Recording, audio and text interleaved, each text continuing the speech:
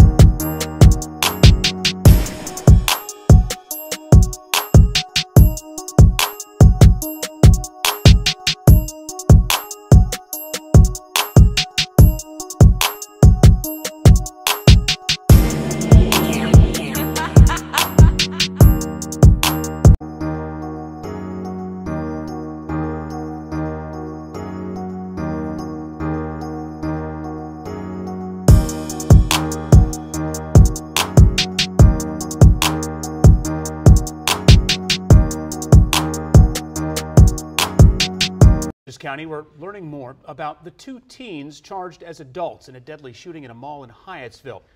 On your screen here, Jabri and Jamal Hawkins. The 16 year old twins are from Northeast D.C. Investigators tell Scott Broom even at age 16, police have dealt with the two boys a lot. 16 year old DC twins Jabri and Jamar Hawkins have had, quote, numerous contacts with Metropolitan Police, according to court documents in this case. Yet they were armed and roaming with two other boys in a Prince George's County shopping mall Friday night when an argument broke out with another group of four, police reported. Jabri Hawkins is charged with shooting and killing 22 year old Daquan Dockery, who fired back with his own gun before collapsing inside a store, according to investigators. Jamal aided and fled with his brother, the documents say.